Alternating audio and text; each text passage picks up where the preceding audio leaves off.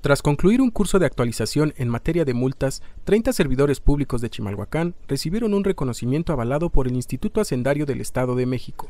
Los funcionarios fueron capacitados con el objetivo de contribuir al fortalecimiento de la hacienda pública municipal. La titular del Departamento de Capacitación, Lilia García Calderón, explicó que esta acción beneficia directamente a la población, ya que los funcionarios se mantienen a la vanguardia de los procedimientos administrativos.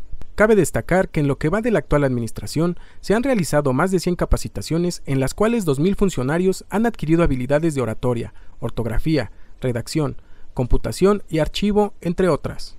Chimalhuacán, TP.